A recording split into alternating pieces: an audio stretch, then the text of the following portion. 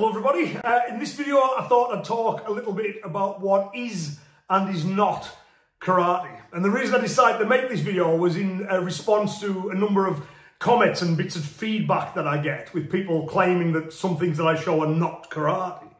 For example, you know, whenever I throw a hook punch or lift my heel up or have a guard up, people will go, oh, that's boxing.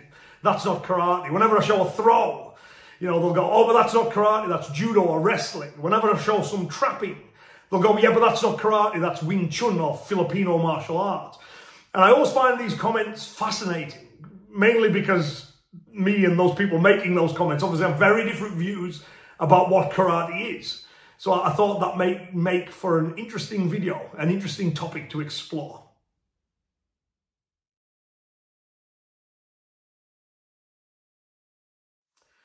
So I think the first thing we need to acknowledge is that karate, although categorized as a traditional martial art, the true tradition has been one of constant change. Not a single generation has passed on the art of karate exactly as it was taught to them. A lot of the things that people regard today as being traditional are actually quite modern. You know, they were introduced relatively late, and we'll talk about that more, more, more later. Uh, Funakoshi, you know, is regarded as the father of modern karate. Well, that, that term in itself tells you a lot, right? The father of modern karate. So he's, he's given credit as being the person who gave birth to modern karate. Well, if there's a modern karate, there must have been an older karate too, right? Um, and Funakoshi's clear about this in Karate Do, uh, My Way of Life, his book. He said um, that the, the karate that high school students learn today is very different from the karate of 10 years ago and is a long way indeed from the karate I learned as a child in Okinawa. So this karate's changed over time. Funakoshi doesn't regard this as a bad thing either.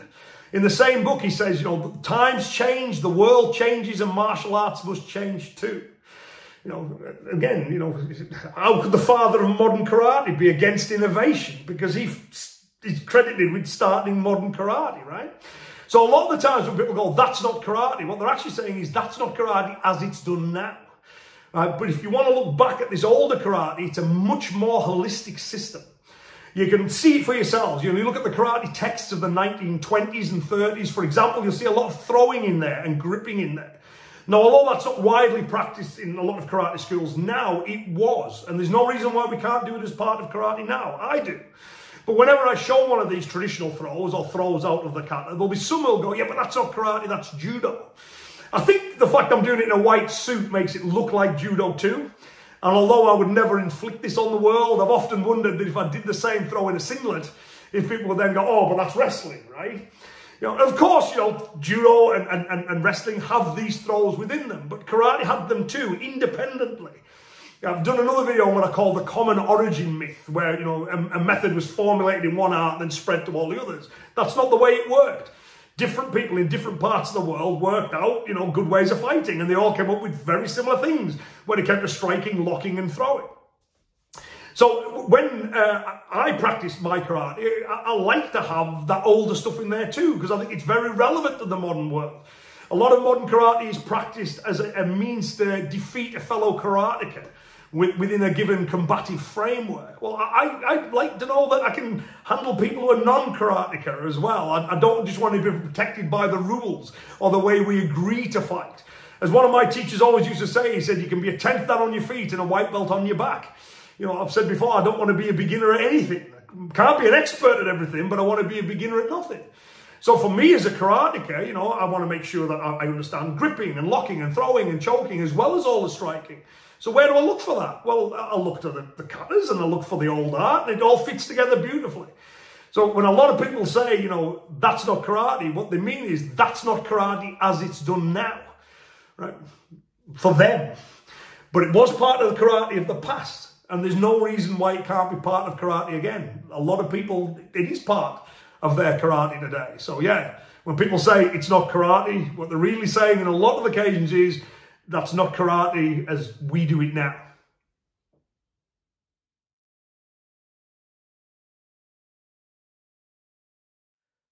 So we've talked about how people define karate as it's done now. And there's another karate, a karate before that, that's still karate, right? But it works the other way around too. You will get some karate who go, well, this is how it was done then, and that's karate and only karate, and anything modern that doesn't fit with what was done then, that's not karate either. So I'll give some, you know, examples of this. Training methods is a big one. So, you know, traditionally we have things like the makiwara. Well, I would suggest that modern impact equipment has superseded that. The makiwara still has its place. It still has some uses, and I understand why people like training with it. But a, a, pair of focus mitts with a good holder, you can hit them from lots of different angles and directions. You can hit them in combinations. You can grab hold of the person as, as the giving target. You can combine them with throwing. They're a much more versatile and effective piece of kit. You have moving targets. You've got to adjust, adjust for distancing. But, you know, they weren't traditional in the, in the sense that, you know, Itosu and Funakoshi and all those, they didn't have them. But if they had them, they would have used them. You know, I mean, I know for a fact that they, they, they would have done. They were always looking to make the art better. So if we could go back in time and go, here's a big bag of focus mitts, that we nowadays would be practicing traditional focus mitt drills. Just as I know we will be in like a hundred years time. You know, people will be talking about, oh, these traditional focus mitt drills developed way back in the 2020s, you know. Uh, so we can ad adopt modern training methods. You know, the other thing with it as well is we can adopt uh, modern techniques as well. Techniques that maybe weren't part of the karate canon, we can bring them into the uh, part of the karate canon. And it's funny how people have real double standards on this. So if you were to ask someone, you know, name a karate kick, I, I would say at least half will go roundhouse, mawashi geri, the quintessential karate kick. But if you look in the, the karate textbooks of the 1920s and 30s, it's not there. You know, like, you know, there's um, oblique kicks and stomping kicks and side kicks and front kicks and knees. Roundhouse kick isn't there. It wasn't part of the karate canon at that point. It came in relatively late. And as I like to point out to my students, right, from the time that karate, uh, the, the roundhouse kick first appeared in print, first appeared in a karate text, right, from that time to when I walked into a dojo and learned roundhouse, that's less time than, be, than between the first UFC and now. Right, so if I'd watched that first ever UFC and had gone, right, I like that hold that Royce Gracie did, and I make it part of karate, if I'm teaching it to my students, that is more traditional than roundhouse kick was when I learned it. There's other things as well that people regard as being, you know, really, really traditional, um, like the, the belt system, you know, a, a training in, in white gis. But, but again, all of that is relatively recent, you know, but, but, but it's, it's got that traditional label on, on, on, it, on it now. So I, I think we shouldn't close ourselves off to new things because again, you know, we see roundhouse kicks in there and gis are in there and belts are in there and people regard that as being traditional. Well, why have we closed the doors all of a sudden? If someone shows me a, a, a, method, a training method or a technique or something that can be effective, you know, then I'm going to bring it into the karate just as the old masters did. Again, in Funakoshi's writing, he talks about how uh, Itosu and Azato, his two main teachers, would send him to different martial artists to, to learn their specialities. He says about how this is a good thing, and Azato and Itosu suffered from no petty jealousy of other masters, as he put it. They would go, you go learn this from the experts. Well, you know, modern karateka, you know, if you can learn something from a, a, another karateka or a practitioner of another art, or even when it comes to physical training, if you can learn a way that's going to make you fitter, faster, stronger, more flexible, that's modern, then we should bring it in. It should become part of karate because karate has always done that. It's been quite eclectic. If something proves its value, like roundhouse kick, then it becomes becomes uh, part of it. So I don't think we should just go, yeah, just because it wasn't done way back then, it's not part of, of karate. You know, it, it, it will be. it will be. Over time, things will adapt and change.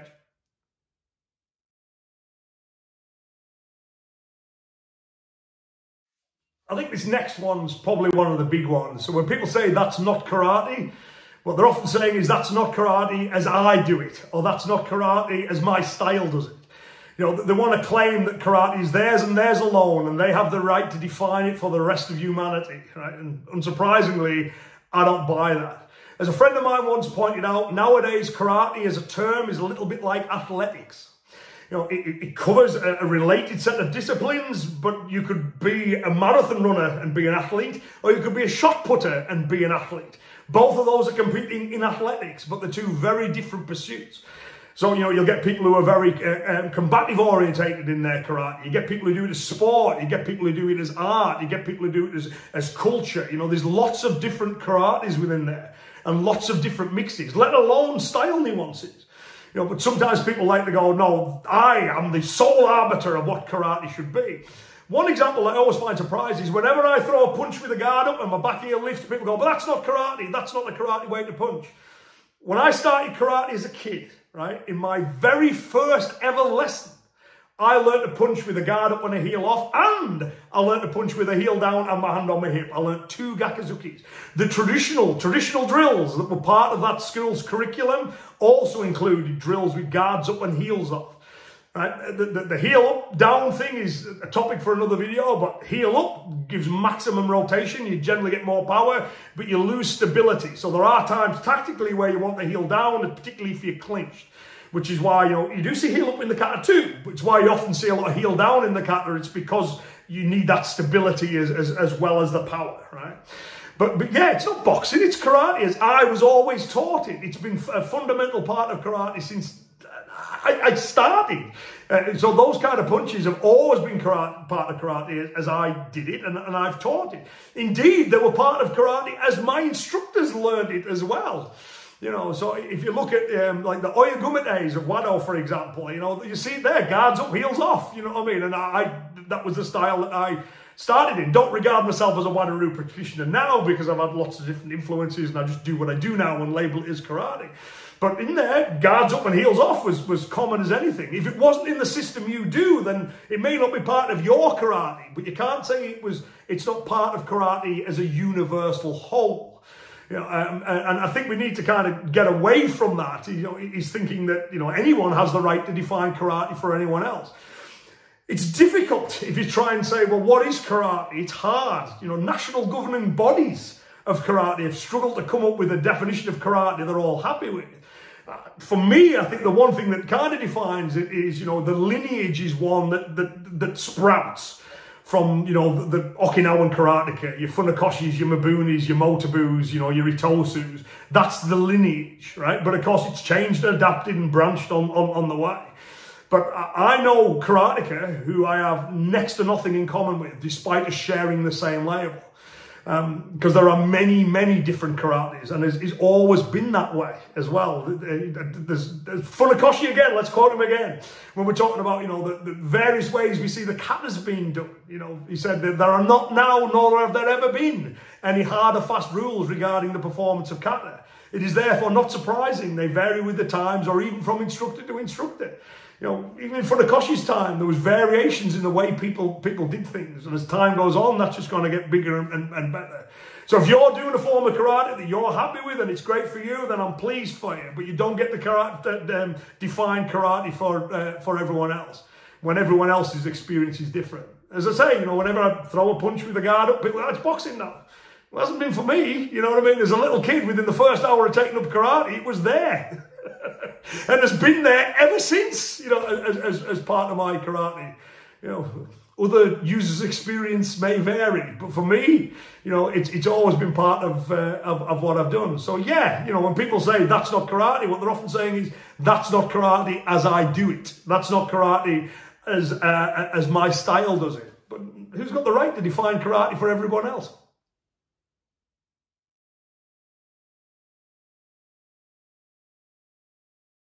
Final one I want to talk about, I mean, there are other aspects, but the final one I want to talk about in this video is when people say that's not karate, what they're saying is that's not karate as I think it should be done.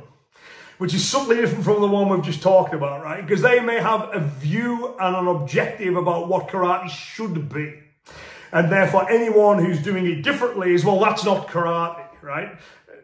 Again, I think we need to be a broader church than that. So, personally, you know, I, I like the self-defense elements of it. You know, I, I like things that are like functional. Uh, that's the kind of karate that really appeals to me. But I get that some people like doing it as a points-based sport. And I get that people like doing it as art. And, and, and I respect that. And I get it. It's not for me. But, but, but I, get why they like doing that way. And they, they should be able to do it that way. I'm not going to try and tell them they shouldn't. If they want functional skills, then, you know, training in those ways probably won't be the way to develop functional skills. So we can be critical of other approaches when they make given claims. That's healthy too, right? But, but in terms of someone who says, no, I'm doing it as art and I like doing it as art, I have no right to go, well, that's not karate because you should do it the same way that I do it. You know, that's a dictatorship. It's not healthy, right? It, we, we have lots of different views about what karate should be. And in this modern age, the wonderful thing is we can all freely share those ideas as I'm doing now. And what you'll find is in the marketplace of ideas, the ideas that attract a lot of people and a lot of people see value in, they'll gravitate around. You know, we've definitely seen that in the last 20, 30 years with karate uh, returning to its functional roots, you know, returning to being a, a, a pragmatic system, a pragmatic system but also not being adverse to taking on new things. You know, there's a wide kind of practical karate community, you know, that are rooted in that tradition. But as I've said before, roots, the jobs of roots, if you take to a plant, is they encourage growth. They're there to give stability so new growth can occur. You know, if, if the, ro- the, the, the tree's not growing, if there's no new growth, it's dead. The roots have failed. You know, so we, we, none of us, none of us have this right to define karate as to what it should be for, for everybody else. We can have our own preferences and we can critique each other's ideas when given claims are made. It's healthy. We should have those open debates. That's, that, that's, that's a good thing. But when people say that's not karate because I think karate should be different, well, good on you. You know, great. You go do your karate and leave everyone else to do theirs. You know, and if your karate's so great, you don't need to claim to be the sole arbiter of karate. You don't need to claim to be the gatekeeper, right? People will naturally be drawn to it. Um, so yeah, you see that quite a lot as well. That's not karate as I think it should be. Chill out a bit. Realise that you know it's karate's a broad church. There's there's lots of elements that appeal to lots of different people, and none of us have the right to say this is karate and only karate, and everyone else should go away and practice something else. Yeah, you, you find the karate that's right for you, and there are many different types of karate.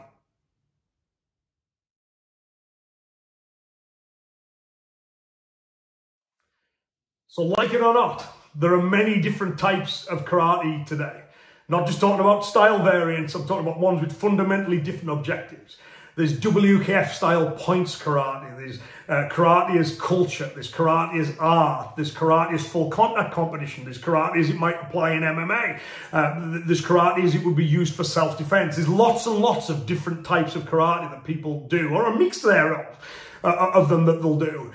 And in addition to that, karate's also changed over time. So when people go, that's not karate, what they're really saying is that's not karate as it was done. That's not karate as it is done. That's not karate as I think it should be done, or that's not karate as I have done it.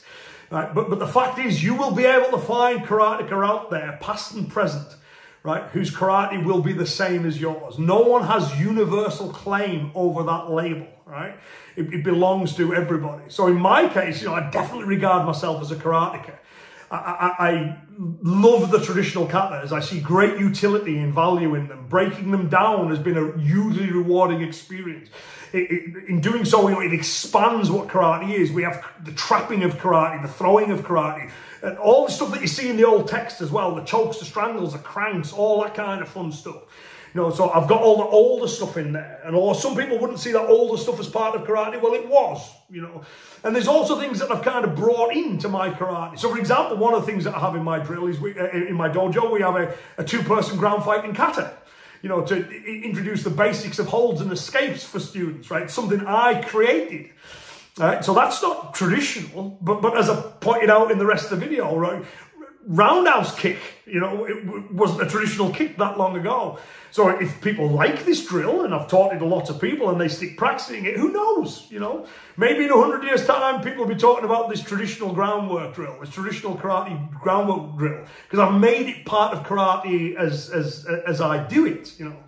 And, but maybe not. Maybe they'll find something better, and that's good too, right? So long as karate's heading in the right direction, I'm happy if I play a part or I don't you know, but, but I just want to see it continually prove, uh, improve over time. So you've got those things in history. Then you've also got the more uh, personal things where people have very strong views about what karate should be.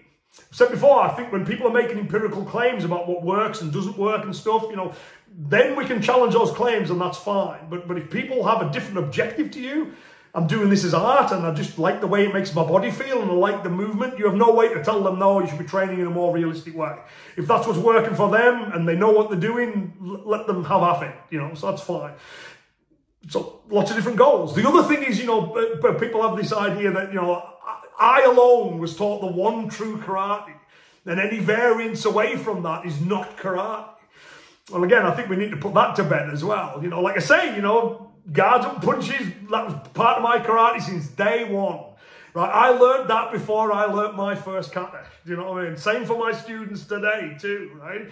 It'll be one of the first things that they, uh, they learn how to do. And of course, in my case, you know, I've had lots of different instructors and I've taken different things from them and I've melded it all together. So it's in part what my instructors have shown me, and it's in part what I've developed and the way I've infused it all together. And I pass it on to my students and they'll do the same. You know, they'll train under other people too and they'll have other ideas. And the karate continues to change and evolve. So karate is not something fixed. It's something that changes from person to person, from group to group, and certainly from year to year. So to say something's not karate would suggest that you somehow feel you have a universal right to pick this one viewpoint from this one point in time for this one objective and then say, no, oh, that's karate and nothing else. Well, I'm sorry to inform you, that's never the way it's been before. You know, karate has always been a, a, broad, eclectic thing. Its very origins are found in taking different things from different teachers at different points in time. That's how karate was born, and that's how karate will continue to grow.